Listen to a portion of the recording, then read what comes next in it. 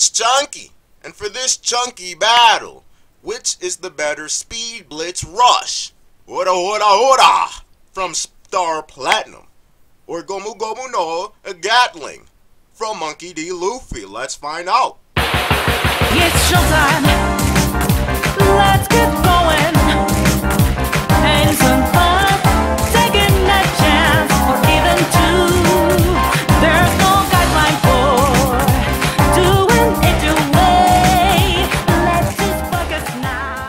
So what we're about to do is just pre-analyze before actually going in depth depending on how well this video does. It'll most likely see the light of day on the main channel, more in depth and more flushed out. But for now, with no research, since there's not really much you can go off, the concept of this is very bare bones. It's kind of vague. This is not Luffy versus Jotaro or any of the other JoJo's. This is which move is better. And since there's really no way of calcing it, like it's not like ninjutsu where one's an S class, one's an A class. No, this is th- these are just two randomly, arbitrarily defined uh, speed rushes from their respective series.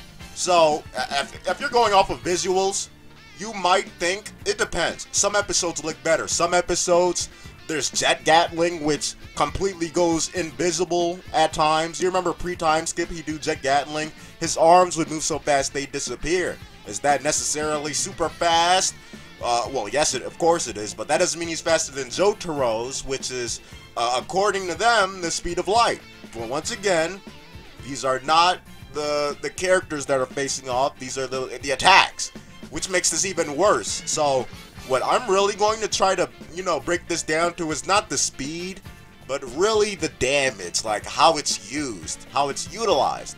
So if let's say if Luffy were to do an ora ora ora, which is pretty much what Gatling is, and Jotaro was to do uh, the reverse as well, which one would be more effective? And for this, of course, this is a hypothetical scenario where Jotaro suddenly has the Gum Gum Fruit and can also stretch. Uh, but in this situation, it's hard to say. Like, there have been times where Luffy is going so fast that it appears that there are multiple arms attacking the enemy. And I don't mean like, you know, I don't mean he's going so fast like, th- that always happens. Everyone knows that.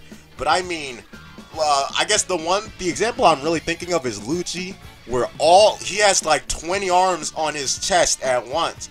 He goes fast, but that's insane. And then of course, Jotaro, it's kind of, it's really just random order orders. Like, it's not like he's hitting any vital spots. Neither is Luffy, so don't know why I really brought that up. But neither one of these attacks really has a clear advantage over the one, you know, the other. They're both really just speed rush attacks. Like, it's really, can't really define it that well. So, if I were to choose, you'd have to, you know, I, I'd go with Gatling. Why?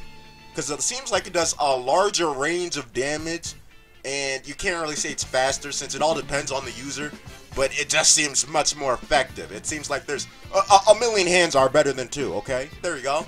That's a good way to describe it. All right. Uh, I might be. I'll probably be having a post discussion. If you want to join that post discussion, join the Discord. If it if it does well enough, it'll be on the main channel for the objective final verdict on which move is better. I'll actually look into it instead of just off the top of my head. But for now, like, comment, subscribe. I'm Tonka, and I'm out. ファイティング自分の道を信じたものだけが